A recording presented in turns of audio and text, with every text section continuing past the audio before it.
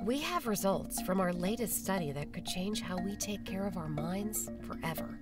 Using Kernel Flow, a neuroimaging system, we recorded brain activity patterns measuring things about the mind that have been unquantifiable until now. In this study, we measured 72 people while they played AIM Lab's Grid Shot. Looking at brain activity alone, our team could classify players as either advanced or beginners, successfully predicting their gaming expertise with just a few minutes of recorded brain activity. So, why would you need a brain scan to predict if you're good at something? Wouldn't you already know? There are things about ourselves that we can easily quantify, like if we're good at a game. There's a lot about ourselves that's subjective and hard to detect, yet important that we know.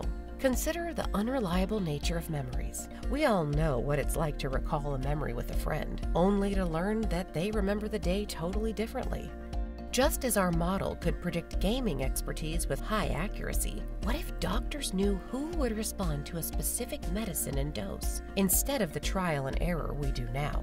What if Flow could predict your brain's state of wellness, or whether you'd respond best to a supplement, talk therapy, psychedelic, or other pharmaceutical, or identify cognitive decline at the earliest stages? We have studies underway to address many of these questions. This is the power of Flow to better understand the effect of anything on the brain. We deserve better. It's time to know how different products and treatments actually affect our brains.